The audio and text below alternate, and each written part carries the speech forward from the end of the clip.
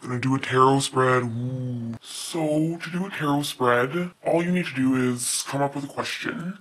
And lots of people are always asking about the future, but if you know anything, you know that you shouldn't do that. We're gonna ask um, something that's not a yes no question and something that is not about the future. That leaves pretty much nothing. You know, in the end, you might not want to do that. Just, uh, just be careful with them. You want to shuffle your cards nice and good. You want to just, like, nicely kind of, you know. So once your cards are nice and shuffled, you can lay them out, like so. Let's see. Oh god, that's not good. Uh, I don't know if you noticed, but I did not uh, have all of the cards in the deck when I was shuffling. Uh, I guess that's a bit symbolic of the situation. Uh, but anyways, get your question ready. You want to just kind of go with your intuition. Just feel, uh, which card feels right to you. Oh, oh, feeling something, feeling something here. Now don't look at it, I know it's tempting, but you're gonna want to wait until, uh, until you've made your selection. Carefully, careful, carefully, carefully selected selection. Alright. So, let's see what we've got.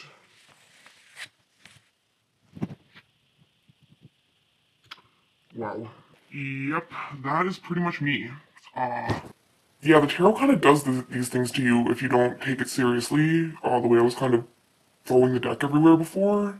And I didn't even actually ask a question because I was busy explaining the stuff to you. Alright. Queen of Swords, that's a little better. Now I'm really wishing I asked a question because I'm gonna have no idea how to interpret this for you. But not a problem, just go with the flow, you know. What you gotta do.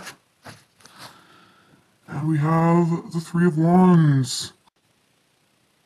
Uh, uh, if I was a really good tarot interpreter person, I would be able to tell you what this means already, but uh, apparently I'm not, so that's why we have this book here. You're gonna want to make sure not to get the the Mythic Tarot because you are not gonna understand a damn word it says. So, the Fool, he basically represents you before you have any experience at all with anything.